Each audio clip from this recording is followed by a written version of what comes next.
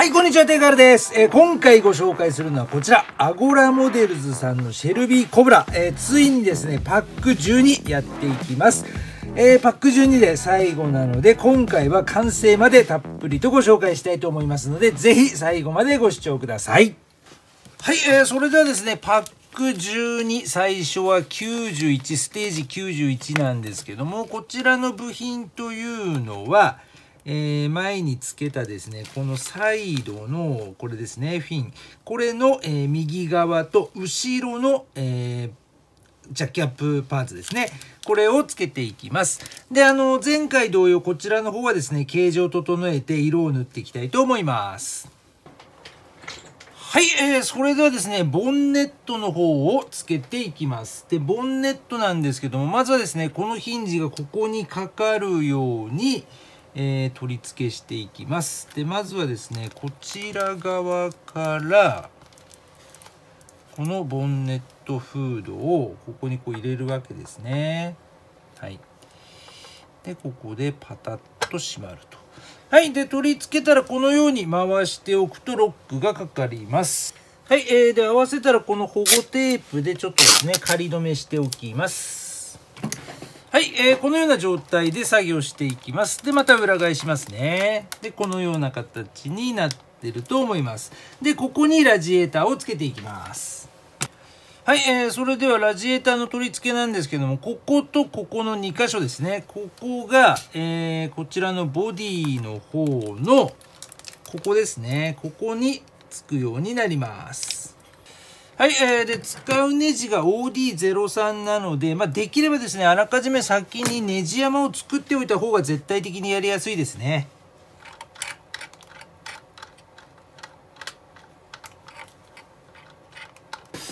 はい、えー、このような形でラジエーターがつくことによってボンネットフード固定されます。はい、えー、そうしたらジャッキアップパーツの方がですね、このような感じで艶消しクリアで塗ってきましたので、つけていきます。R と書いてある方が右側。このような形でつきます。こっちですね。このような形でつきます。で、これも、えー、OP02 のネジで、えー、1本だけ留めておきます。はい、このような形で後ろのジャッキアップパーツがつきます。はい、それでは続きまして、ステージ92と93をやっていきます。これがですね、ウインカーレンズとかがついてきてますね。で、えー、右と左ということで、まあ、似たようなパーツが入ってきてると。はい、このような形になってます。はい、えー、それでは、まずですね、ちょっとこれを剥がして、ウインカーレンズの方から組み立てていきます。はい、えー、ウインカーレンズなんですけども、ここのところにですね、切り欠きがあります。で、こちらの方には突起があるので、この突起が切り欠きに入るように、このレンズを合わせてつけていきます。はい、えー、で、このような形でレンズをはめたら本体の方につけるわけなんですけども、ちょっと先にですね、テールランプの方もこちらの方で作ってしまいます。ちょっと作業台が狭いので、えー、ある程度作ってからまとめてやりたいと思います。はい、えー、それではまずですね、こちらの黒いパーツにリフレクターをつけるわけなんですけども、この穴の大きさですね、こことここ、ちょっと大きさ違うの分かると思います。で、ここにピンが入る、えー、穴がありますので、それを合わせて、このような形でつけます。はい、えー、そしたらこちらの赤いクリアパーツのピンが、えー、幅の広い方と狭い方があるので、これを合わせてここにつけるわけですね。はい、えー、で、この赤いレンズとリフレクターはいいんですけども、ちょっとですね、この黒いパーツの出来があまり綺麗ではないので、ちょっとヤスリをかけてですね、ここも艶消しクリアを塗ってから使いたいと思います。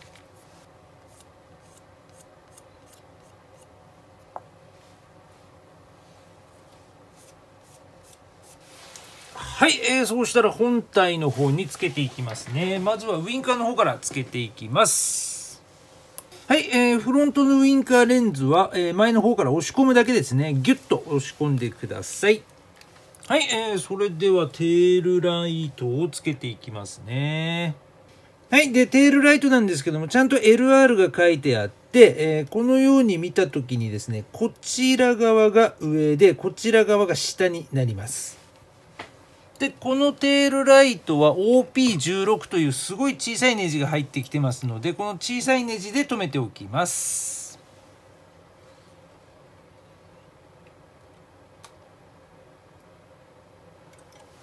はい、えー、でテールレンズをネジ止めしたら付属の LED ですね。これを差し込んでおきます。はい、えー、というわけで左右のウインカーと後ろのですね左右のテールライト。つけて、これでですね、92、93の、えー、ステージ92、93の作業が終了となります。続けてステージ94やっていきます。はい、えー、それではこちらがステージ94ですね。で、今度ステージ94では、えー、っと、シャーシの方に作業が、えー、移行していきますね。はい、こちらの方ですね。こちらの方つけていきます。はい、えー、でこちらの、えー、下回りをひっくり返して作業しますので柔らかいものを置いてエンジンの前の方ですね柔らかいところに、えー、乗るような形にしてこんな感じで作業していきます。はい、えー、スタビライザーの装着ということでこのような形でつけます。で角度なんですけども横から見た時このようになるようにつけてください。はいで、えー、OD07 のネジを使って、えー、2箇所止めていきます。こことここですね。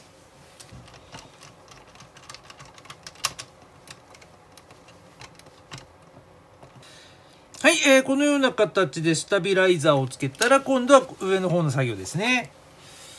はい、えー、でここでこの形の、えー、クリップのようなものがあるんですけどもこれをここの切り欠きにつけます。ここ。はい、このような形でつけておいてください。はい、えー、で、ボンネットを、えー、支えるロッドがここのところにつくわけなんですけども、今ちょっと両手塞がってるんで、あの、ピンポイントで指示できないんですけども、このロッドの先端を、えー、ボンネットフードの裏側にですね、マスキングテープでとりあえず留めておいてくれれば OK だと思います。はい、というわけで、これでステージ94終了となります。続いてステージ95やっていきます。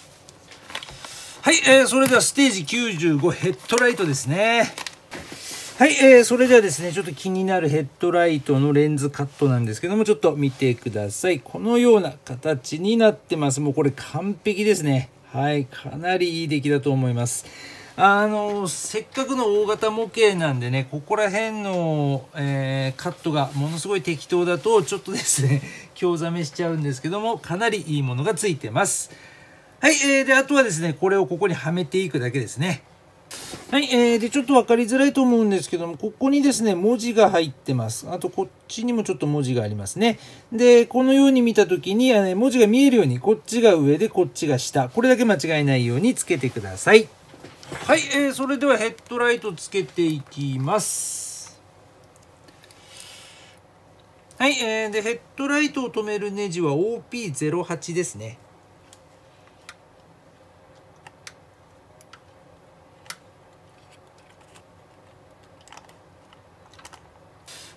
はい、このような形でヘッドライトがつきました。なんかいよいよっていう感じになってきましたね。いや、かっこいいですね。これはいどうでしょうか。ちらっと。はい。うんかっこいい。はい、えー、それではですね続きましてステージ96やっていきます。はい、えー、それではステージ96まずはですねルームミラーから作っていきます。保護フィルムが貼ってありますので保護フィルムを剥がしてからこちらの、えー、ミラー面を貼っていきます。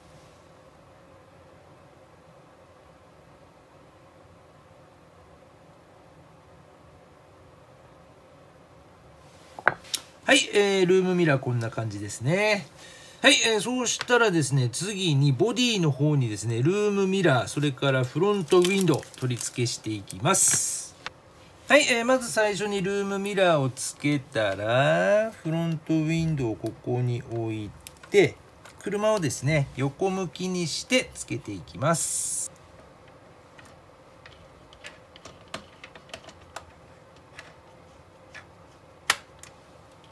はい、というわけでフロントウィンドウがつきました。これでもう車をですね、ひっくり返すことができなくなったので、その点だけ覚えておいてください。はい、えー、そうしたらですね、次に説明書ではワイパーをつけることになってるんですけども、えーと、このフィルムとかをですね、剥がすタイミングは本当の一番最後なので、最後の最後、フィルムを剥がしてからワイパーとバックミラーですね、つけていこうと思います。これちょっと取り置きしておきます。はい、えー、それでは続きまして97、ステージ97開けていきます。いよいよ残り3つですね。はい、えー、そうしたらまずですね、こちらのエッチングパーツが入ってますので、これを折ってここに入れます。で、折り返す感じですね。で、ちょっとですね、折り目のところ、これよーく見ると、えー、ここ、ここのところよーく見ると、少しだけ、えー、切れ目が入ってる方と入ってない方があります。なので、こっちを谷にして、こう折ってください。はい、えー、で、ピンセットを使って90度に折り曲げたら、この穴にこのパーツを入れていきます。こうなるわけですね。リアルですね。はい、えー、そうしたらこちら側から飛び出している爪を、えー、抜けないようにですね、えー、曲げておけば OK ということです。はい、えー、そうしたらこちらのパーツをここにつけるわけですね。で、ここはですね、接着とか特に指定はないです。かなりきつめなんで問題ないと思います。はい、こんな感じですね。で、どうなるかというと、このようになります。リアルですね。ここまで再現されてるんですね。はい。はい、えー、それじゃ次は急行口を作っていくわけですね。こちらのパーツになります。はい、えー、で、まずはですね、こちらのこのネジのモールドある方に、えー、こちらのパーツ、これ、えー、突起が2つあって太い方と細い方ありますので、このように組み合わせます。こうですね。はい、えー、そうしたらですね、こちらの方にこの、えー、キャップをですね、つけていきます。ここは結構怖いですね。折れそうで。結構ギリギリ。なので、少しだけピンをですね、場合によっては削った方がいいかもしれないです。ちょっとあのバリもついてるので少しだけ削った方が入りやすいかもしれないですね。はい、このような形で入ります。こうですね。はい、パカッと球根が開くわけですね。はい、えー、そうしたらこの球根をロックする部品ですね。このちっちゃい部品。これも別パーツなんですよ。かなり細かいですよね。はい、えー、でついたんですけどもちょっとですねキャップが閉まらないかな。閉まらないな。ちょっとキャップが閉まらないのとあとですねうーんとまあゲート跡とかがあるのでえーとまあ、ちょっとここら辺の見た目もあまり良くないのと閉まらないという問題があるので若干削りたいとこなんですよね。で削ると当然シルバーが落ちてしまうので、えー、ここはですね塗り直しすることにします。はい、というわけで、給油キャップですね。このような感じでゲート処理をして綺麗に、え、塗装してきました。これを本体の方につけていきます。はい、えー、それでは給油キャップつけていきます。給油キャップの、えー、ネジは OP02 です。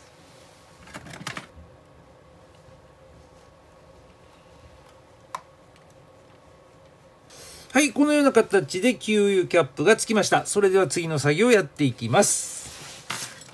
えー、それではですね、次は、えー、トランクをつけるわけなんですけども、もうですね、ウィンドウをつけてしまったので、簡単にひっくり返せないんですね。で、えー、この発泡スチロールは、このコブラが入っていた発泡スチロール。これをこのような形で逆さまにして、ここに、え布を置いてひっくり返してください。で、ちょうどここのところにウィンドウが来るようにします。はい、このような感じですね。ちょうどウィンドウのところだけ何も、えー、当たらないようにして、これで作業していきます。はい、えー、それではトランクつけていきますね。まずはここにトランクをセットします。こうですね。このような形。で、この状態で、えー、一度このフィルムテープを貼っておきます。はいこのようにテープを貼ってでトランクが落ちないようにしたらひっくり返していきます。はい、えー、そうしたらですねステージ70でついてきたこちらのプラパーツですね。このパーツのここちら側、えー、出っ張ってる方ですね。これがここにつきます。このような形ですね。で、このプラパーツをここに乗せて OD05 のネジで留めていきます。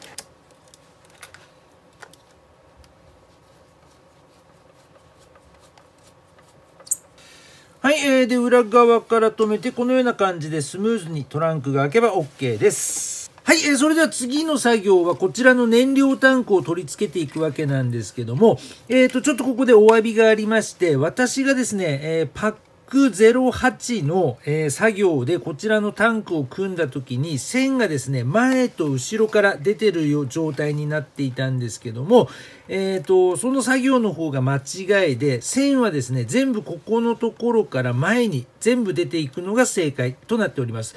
えーと、ちょっとですね作業の方あの私の方が間違ってしまいまして本当にご迷惑をおかけしました。で、えー、今回こちらのをつけていくわけなんですけどもさらに、このテールランプの線ですね。え2本あるんですけども、それぞれここの横を通して前の方に持ってきてください。そしてこことここが、こことここに OD05 のネジで止まります。はい、それじゃあちょっとつけていきますね。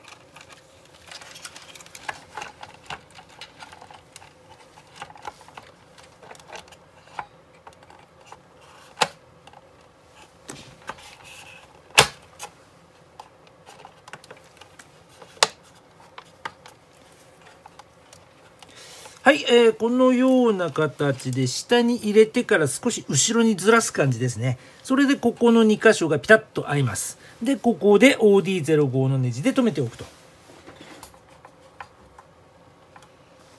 はい、このような形で燃料タンクがつきます。はい、えー、それではですね、次に燃料タンクをつけたらこちらの内装パーツですね、これをつけていきます。はい、えー、それでは内装パッツつけていきますね。この配線が、えー、こちらの方に全部かわすようにして、ここですね、ここと、ここ2箇所、ここと、ここ、OD05 のネジでつきます。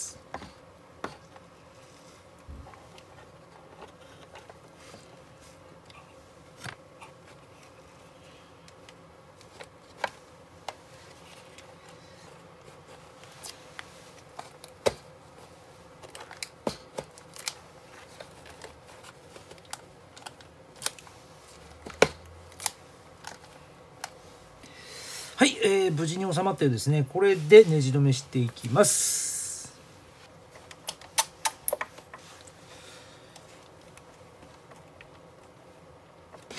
はいというわけでこれで内装パーツがつきました。で一度元に戻します。おーかっこいい。はい、えー、そうしたらですね、次にトランクの中にこちらのパーツをつけていきます。で、こちらのパーツなんですけども、えー、ここのところですね、ちょっと今もうこの本体がですね、大きくてちょっと持ち上げて指さしてっていうのができないので、説明書の方で説明しますけども、ちょうどここのところにですね、これがピタッとつくところがあります。で、これをつけて、ここのところに、えー、こちらのですね、ロールバーが入ってくるような形になります。はい、えー、そうしたらですね、ロールバーをつけていきます。で、ロールバーなんですけども、色塗るという話をしてたんですけど、このような感じに仕上げてみました。色塗って、ここのところはですね、あの、リアルボルトを入れてます。それからこちらの方ですね、パテ埋めして、ここですね、綺麗にパテ埋めをして、えー、ロールバー、このような形で仕上げております。色に差異がないので、非常に見た目いいかなと思います。はい、えー、それじゃあつけていきますね。はい、えー、このような形でロールバーをセットしたら下側からロールバーを OD10 のネジで留めていきます。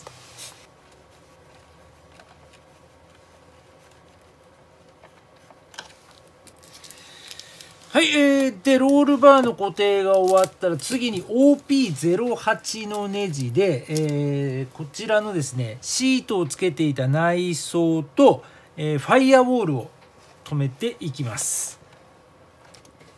はい、えー、で、止めるの、ここですね。こことこっちにも同じようにネジを止めるところがあります。ここ OP08 で止めていきます。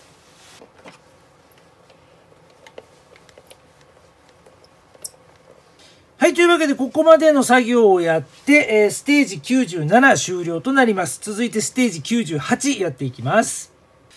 はい、えー、それではステージ98開封していきます。はい、えー、それではこちらの小さなパーツをホースにつけていくと。なくさないように。一つ予備ですね。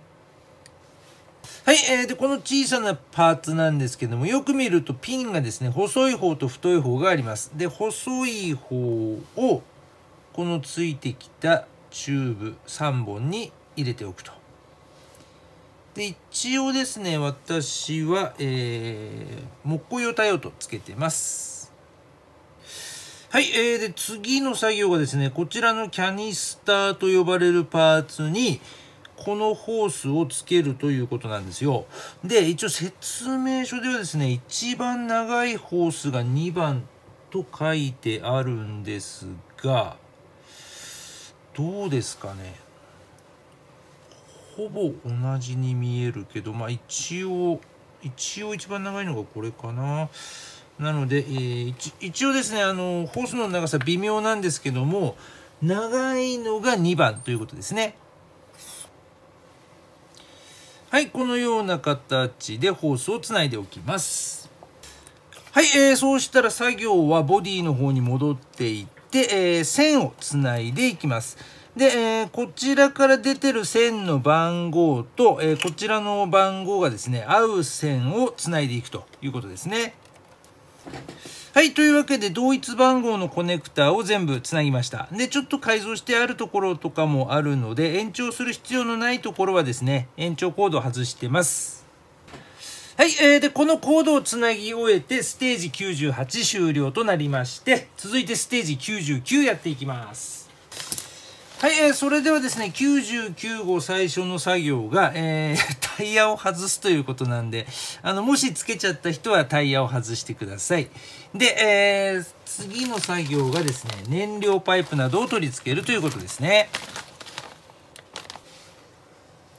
はい、えー、それではですね、まず最初にこの部品をつけていくわけなんですけど、ここですね、かなりちょっとつけづらいと思います。こことここにつきます。こういう感じ。なんでこれがもっと前の段階で つけなかったのかが謎ですけども。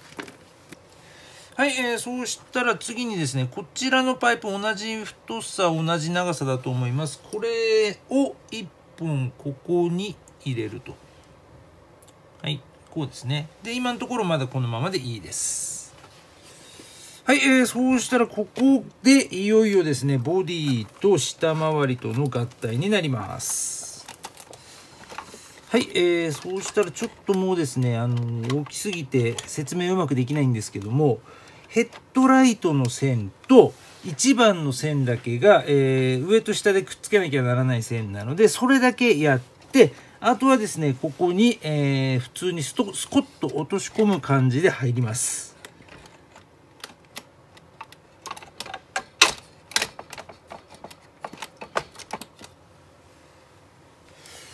はい、えー、ちょっとですね、うちの作業場環境ではこれをあのスコット入れる作業をちょっとうまく撮影できなくて申し訳ないんですけども、あの、いろんなところにですね、あの、何か挟まるものがないか確認しながらスコット入れてください。そうすると下までスッと入りますので、そうしたら次にですね、OD05 のネジでまずはここの部分、こことこちらが同じネジがありますので、そこに2箇所止めていきます。はい、えー、そうしたらですね、前にも2箇所、ここですね、ここと反対側にもありますので、ここも OD05 で止めていきます。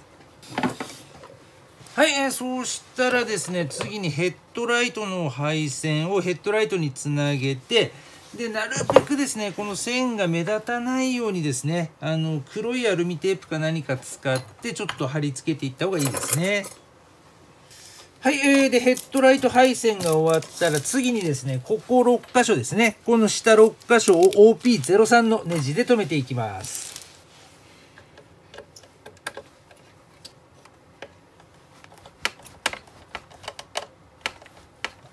はい、えー、そうしたら次に OP08 のネジですね。OP08 のネジで後ろのですね、こちらの方のネジ4本止めていきます。はい、えー、そうしたらここで初めてですね、タイヤをつけていくわけですね。はい、で、使うネジは OD02 です。OD02 の、えー、ネジを使ってタイヤを4本とも全部つけてしまいます。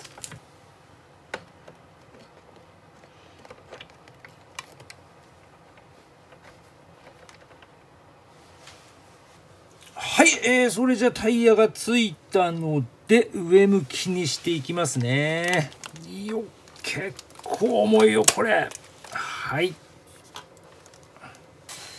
はい、えー、そうしたら次にですね、このステアリングのリンクパーツですね、差し込んでから OD11 のネジで留めます。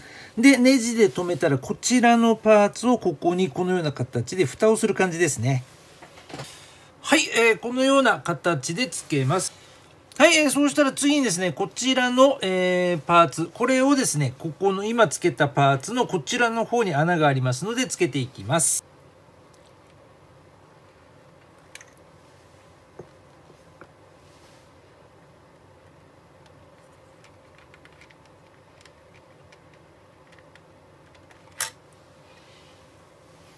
はい、えーそれではですね、ちょっとエンジンの中のパイピングがですね、あの、説明大変なんですけども、ちょっとですね、あの、組み立てながらというのはちょっと無理なので、えっ、ー、と、今、組み立て終わった状態から説明していきますね。で、まずミッションのここ、ここに入ってるこれですね。これが、えー、こう来てここ、ここに入ります。で、えー、次が、ここにもう一本同じ、えー、配管を入れるんですけども、これがここ、ここに来ます。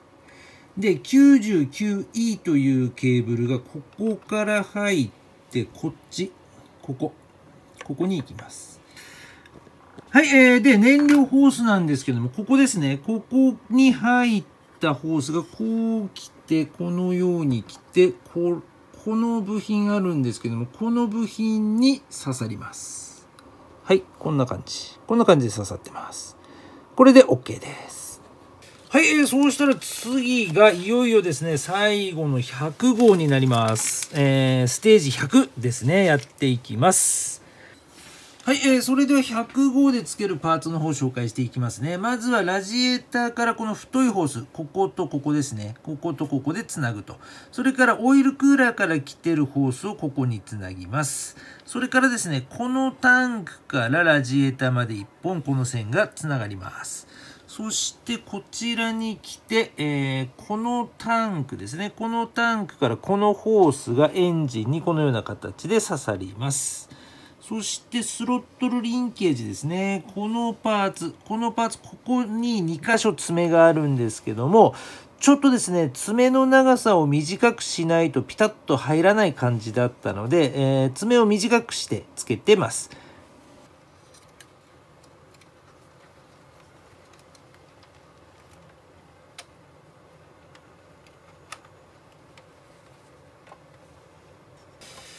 はい、えー、それではここからですね、今一度車体をひっくり返しての作業となります。はい、えー、で、まずはですね、先ほどのキャニスターから出ているホース3本をこちらの方にですね、あの、ここ、1、2、3箇所奥にもありますので、この3箇所につなげます。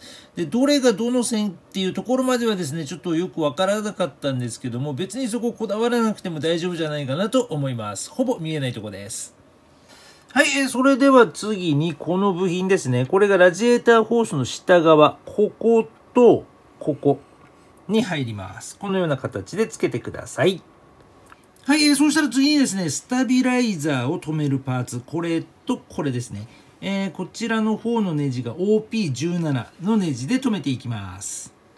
はい、えー、それではですね、いよいよ完成間近となってきまして、こちらのですね、マフラー、えー、作ったマフラーですね、このマフラーをつけていきます。で、えー、こちらのマフラーは下側だけネジ1本入るんですけども、そちらが OD01 となっております。はい、えー、というわけでこんな感じでマフラーがつきました。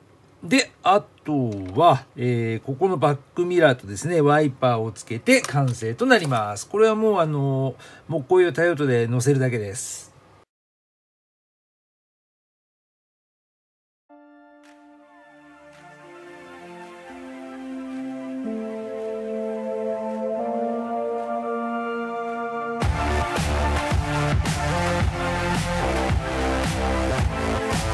はいというわけで完成しましたアゴラモデルズ8分の1スケール1965年式シェルビーコブラ427セミコンペティションということでどうでしょうかこの出来栄え？いやこれはさすがはシェルビーアメリカン社の公式ライセンス製品というだけあって細部にわたってかなりこだわりを持って作られているのが伝わってきますね。特にエンジンルーム内の配管などはこんなところ見えないでしょっていうところまで細かく再現されているのには驚きました、まあ、ただですねその細かさゆえに模型初心者でも大丈夫ですかと言われるとちょっとですね難易度の方はここ最近のパートワーク系よりもちょっと難しいのかもしれません。ただですね本当に模型が大好きでこのコブラという車が大好きという方にはもう見ていただければわかると思いますがこのモデルは安心しておすすめできるクオリティですね。たっぷりと組み立てを楽しんでから完成後はじっくりと眺めながら美味しいお酒が飲めるんじゃないかと思います。はい、えー、そんなわけでですねパック1からパック12まで12回に分けて組み立ての方を解説してきました。私の場合はですねところどころ自分で手を加えていますので組み立てが説明書と違うところも多々あったかと思います。組み立てに関してですねよくわからない部分やなかなか難しくてうまくできない部分があればお気軽にコメント欄からご質問ください。可能な限り組み立てのサポートをしたいと思います。あとアゴラモデルズさんでももちろん組み立てのサポートはやっておりますのでそちらの方もご活用いただければと思います。はい、というわけで今回も最後までご視聴いただきまして誠にありがとうございます。ぜひチャンネル登録の方もよろしくお願いいたします。